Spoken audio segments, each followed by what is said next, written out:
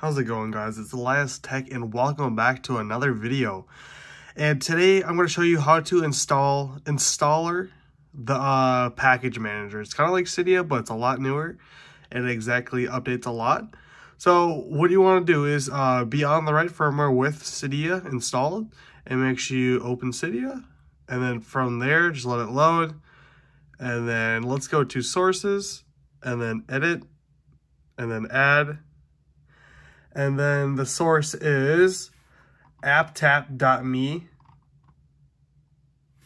So it's like this, A-P-P-T, A-P-P dot me. I can't I'm looking through the, I can't believe I'm actually still looking through the uh, camera when I'm trying to record. I think it's still a bad idea, but I'm still doing it.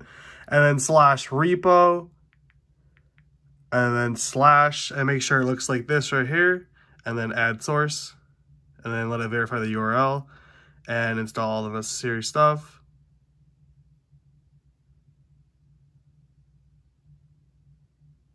And then return the Cydia. And then from here, uh, you got to click search and then type installer. So I-N-S-T-A-L. There it is right there, installer. And then just modify install, and confirm. And let this process load.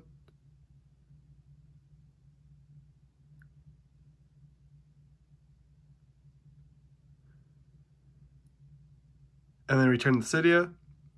And then go home, and from there, click installer. And let it load up, continue. And then you just log in from there. And then, actually, you can just use without installing login and then import the sources if you want. And look at this. There we go.